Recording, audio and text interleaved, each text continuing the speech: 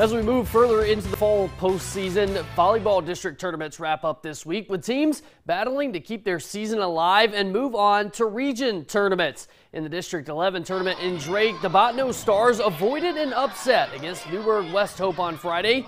Down in every set, the Stars fought back to win the match three sets to one, thanks in part to Kylie Simpson finishing with 21 kills. Head coach Rebecca Moen says they are excited to make it to the championship, but they have to clean up their mistakes in order to get the title.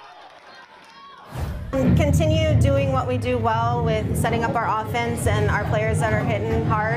Um, work together, mentally let things go and move on to the next play and, and never give up on each other and themselves we were just so excited to go into this district championship. I've never been into one, so I'm excited to do it with the team that I grew up with and grew up um, maturing with too, for sure.